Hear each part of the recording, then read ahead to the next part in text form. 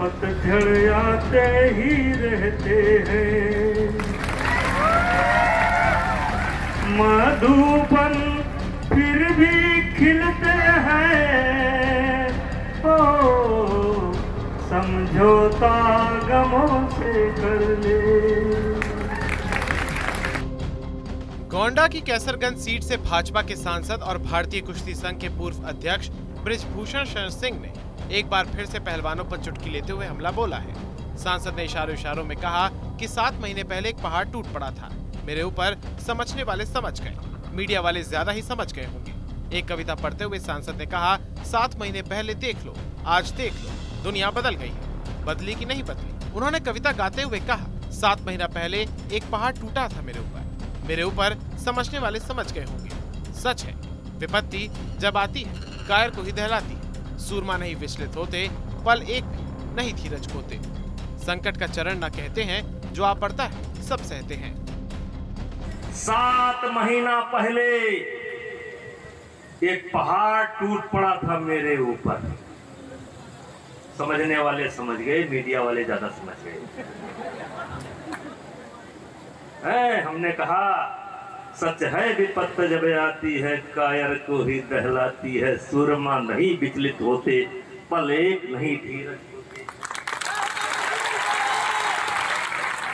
पल एक नहीं धीरज खोते संकट का चरण कहते हैं जो आ पड़ता सब सहते हैं सात महीना पहले देख लो, आज देख लो।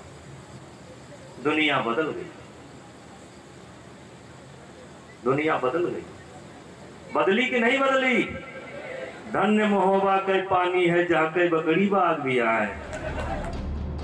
भाजपा सांसद बेलसर विकासखंड में जगदम्बा शरण सिंह महाविद्यालय में आयोजित एक प्रतिभा सम्मान समारोह बच्चों को संबोधित कर रहे थे, जहाँ उन्होंने एक बार फिर से पहलवानों के आरोपों पर चुटकी लेते हुए प्रहार किया।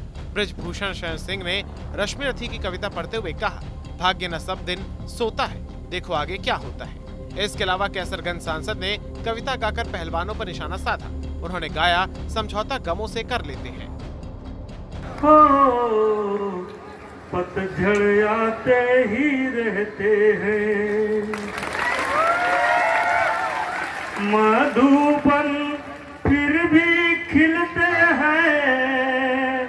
ओ, समझौता गमों से कर ले। ज़िंदगी इतना तेज न करो भाई। गम भी मिलते हैं। हो समझौता गमों से कर ले। बताते चलें कि इसी साल 18 जनवरी को जंतर मंतर पर विनेश फोगाट, साक्षी मलिक के साथ बजरंग पूनिया ने धरना शुरू किया था। आरोप लगाया था कि डब्ल्यूएफआई के तत्कालीन अध्यक्ष ब्रिजभूषण सिंह ने महिला पहलवानों का यौन शोषण किया है। पहलवानों के धरने के बीच 28 अप्रैल को पहलवानों की याचिका की सुनवाई में सुप्रीम कोर्ट के आदेश पर दिल्ली पुलिस ने ब्रजभूषण पर छेड़छाड़ और पॉक्सो एक्ट में दो एफआईआर दर्ज की थी। हालाँकि बाद में नाबालिग पहलवान की तरफ़ से लगाए गए आरोप वापस ले लिए गए थे, जिसके बाद उन्हें पॉक्सो केस में राहत मिल गई। है लेकिन महिला पहलवानों के आरोपों को लेकर केस चल रहा है।